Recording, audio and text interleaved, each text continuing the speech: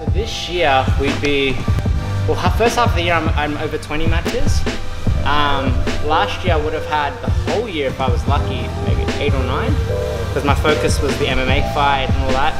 As soon as that MMA fight, fight finished in November, it's been 100% focus on Worlds since then. I, I booked it last year. Accommodation, just, the whole thing, and just, just knew it. That's it, this whole year is just centered around that. Nogi I compete in just to make sure I get enough matches on the day. Mm-hmm. So know, it's not a waste of a whole day, right? Well, even so, it's I know it's six matches to win worlds. So I've been doing tournaments to make sure I get at least six matches on the day to know what the practice is of having six matches a day. If I get two matches a day and I win them, I don't have that. I'm not seasoned for a six match campaign. Mm. So I've been going in all four categories just to get six matches in.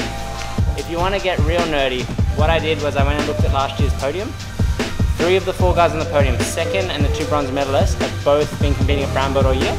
I've been following them all year, watching all their matches on FloGrappling, watching, watching all the results, and they're entering back in to repeat. So the guy who won gold, he's gone up to black. The other three on the podium are back to brown, and I've been watching all their matches, so I, am going to have a strategy already for you if I have to I've gone all the way with this, trust me. I've really put my effort in this year.